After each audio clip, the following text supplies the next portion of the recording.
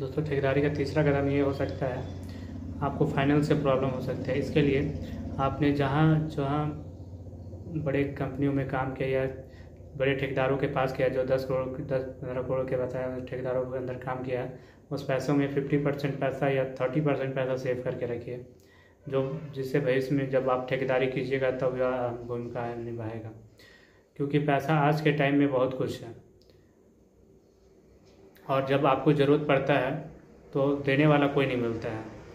ऐसे जब आपको ज़रूरत ना मिले, तब तो आपको पैसा देने वाले मिलता है। लेकिन आपको जब ज़रूरत पड़ता है या जब मुसीबत आता है तो चारों तरफ़ से आता है और उस वक्त कोई देने वाला आपको पैसा नहीं मिलता है। इसलिए सबसे पहले आप पैसे को सेविंग सेविंग कीजिए।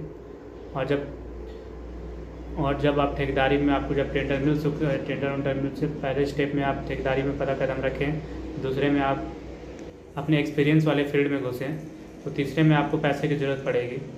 तो आप जब से आप मान लीजिए रोड का काम कर रहे हैं तो रोड के ज़रूरत, काम में आपको गिट्टी का ज़रूरत पड़ेगा, बालू का ज़रूरत पड़ेगा, और हो सके तो सीमेंट का ज़रूरत पड़ेगा, अगर पीसीसी रोड है। अगर पीसीसी रोड में तो बिटूमेंट का ज़रूरत पड़ेगा।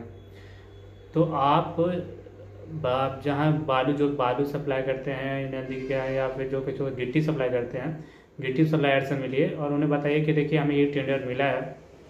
और अगर आप कैसे बोलते हैं बिल्डिंग बना रहे हैं और ईंट का ज़रूरत है तो आप ईंट के कॉन्ट्रेक्टर से मिलिए, ईट भाटी के मालिक से मिलिए कि बताइए कि देखिए हमारा काम है।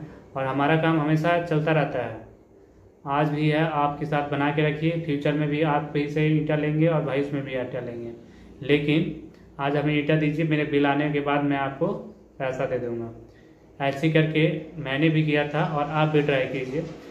और जब जिसे ले रहे हैं, बालू, ईट, जो भी ले रहे हैं, उन्हें टाइमली जब आपका बिल आए, पहले जाके उन्हें पैसा दे दीजिए। मैंने भी जब स्टार्ट किया था तो अपना मैंने जब बिल आ गया था और मेरा बिल किसी कारणवश लेट हो गया था, इसलिए मैं कुछ दिन तक थोड़ा दिक्कत हुआ था, लेकिन बाद में वो बिल आते ही मैंने सबसे पहले जाके उनका पैसा वापस कर दिया। और उनसे आज भी अच्छा रिश्ता चल रहा है। इसी तरह मैंने स्टार्ट किया था और आप पैसा बचाने के लिए ये सबसे बढ़िया उपाय होगा, जिससे कि आप ठेकेदारी कर सकें। दोस्तों, इसी तरह के चैनल मैं इस वीडियो पे डालता रहता हूँ। और सॉरी इसी तरह का वीडियो मैं इस चैनल पर डालते रहता हूँ। चैनल को लाइक सब्सक्राइब ज़रूर करें और लाइक चैनल सब्सक्राइब करें ना करें। बेल आइकन ज़रूर दबाएँ। धन्यवाद। मिलते हैं अगले वीडियो में। अपने चौथे स्टेप